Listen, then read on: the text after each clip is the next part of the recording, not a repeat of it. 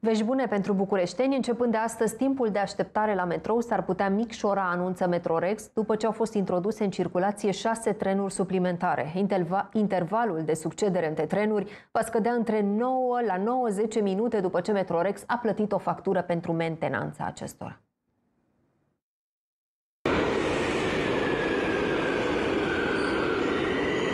Metrorex anunță că a reușit să rezolve parțial problema aglomerației de la metrou în urma unor negocieri cu Alstom, compania franceză care asigură lucrările de întreținere a trenurilor la metrou. Astfel, începând de astăzi, vor fi introduse șase trenuri, iar intervalul de timp în care vor sosi în stația de metrou va scădea la 9-10 minute, pe toată rețeaua de metrou fiind introdus un număr de 40 de trenuri. Această măsură vine în contextul în care în ultimele săptămâni metroul a circulat cu mai puține trenuri, astfel în stații și în metrou s-a creat aglomerație. Creșterea timpilor de așteptare în stație a fost determinată de diminuarea serviciilor de mentenanță și salubritate prestate de Alstom, cu care Metrorex are un contract în vigoare, dar și datorii de 170 de milioane de lei. Alstom, compania care se ocupă de lucrările de întreținere a trenurilor, anunța încă din iunie că va suspenda unele servicii de mentenanță în luna iulie, dacă Metrorex nu achită facturile restante.